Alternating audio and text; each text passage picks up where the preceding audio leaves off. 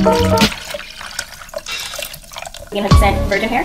And then after that, you like to start threading the bottom of the braid to make it extra long a little bit? that. It doesn't want extra long.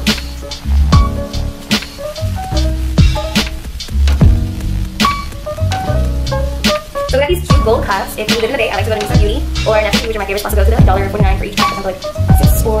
Okay, so it's easy about these cuffs. They're super easy to open up, and then all you gotta do is just push the cuff in onto the braid. And it adds a cute little accent to this. Pinch it on, boom, boom. Rest of the bundle. This is only one.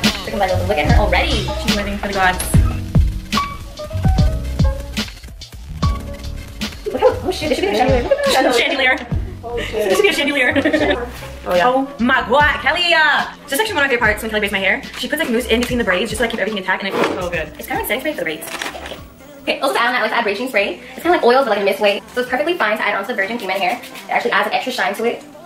And a perfect smell. So take out that chemical smell if you feel like you're not feeling it. And then seal the braids, I like to add my favorite Pep It Up spritz. That's so fun. And kind of actually hardens the hair. I get them all at Sally's. If not, I get them at New in Eastridge. If you in San Jose.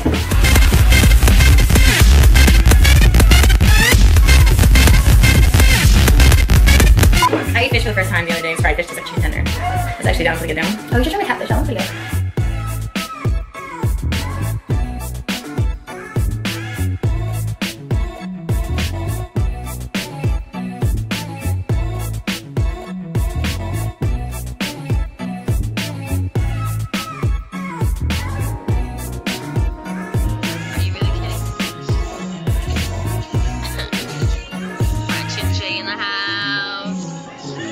You're really not kidding, though.